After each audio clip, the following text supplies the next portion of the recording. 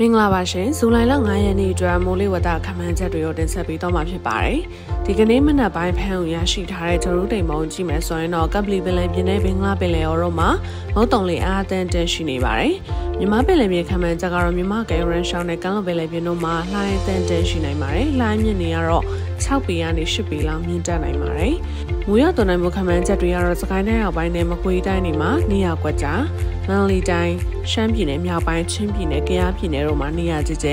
နေပြည်တော်ပဲခူးတိုင်းရခိုင်ပြည်နယ်တို့မှာနေရာစစ်စိတ် ကြံပြည်နယ်နဲ့တိုင်းတွေမှာနေရာနှံပြမိုးထစ်ချုံရနိုင်တယ်လို့ခန့်မှန်းထားပါတယ်။စကိုင်းတိုင်းအထက်ပိုင်းတနင်္သာရီတိုင်းကချင်ပြည်နယ်မွန်ပြည်နယ်တို့မှာနေရာကွက်ပြီးမိုးကြီးနိုင်တယ်လို့ခန့်မှန်းထားပါတယ်။နေပူချိန်ခန့်မှန်းချက်တွေကတော့အမြင့်ဆုံးပူချိန်တွေနေနဲ့မကွေးတိုင်းနဲ့စကိုင်းတိုင်းတွေမှာ38ဒီဂရီစင်တီဂရိတ်ဝန်းကျင်လောက်မြင့်တက်နိုင်ပါတယ်။ဆက်လက်ပြီးတော့ပြည်내နဲ့တိုင်းလိုင်းမြို့တော်ကြီးတွေမိုးလေဝသခန့်မှန်းချက်တွေကိုလည်းတင်ဆက်ပေးသွားအောင်မှာဖြစ်ပါတယ်ရှင်။